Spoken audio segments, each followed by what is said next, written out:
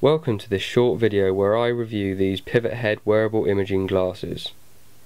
These stylish glasses come with an HD camera mounted in the front. You can transfer your footage to a computer via the USB cable. The glasses come with a hard case, cloth and three different lenses, polarised grey, safety yellow and clear. To operate, simply press the rear button for photos and the front button to start or stop filming. Here are some clips I got with these glasses set at 1080p at 30 frames per second.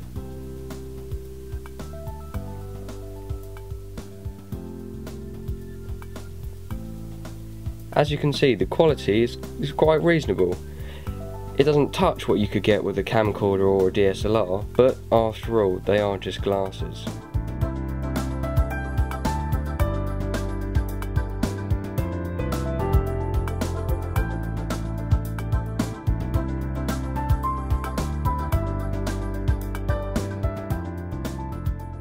I did notice however that even when I thought I was holding my head quite still, the footage came out reasonably shaky.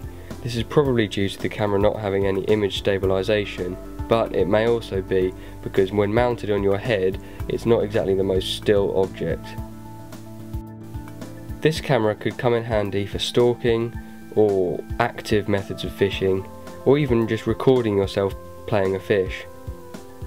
But if I had the money to buy one of these pairs of glasses, I'd probably save it and go for a camcorder or a digital camera because the battery life and the built-in memory on these glasses is quite poor.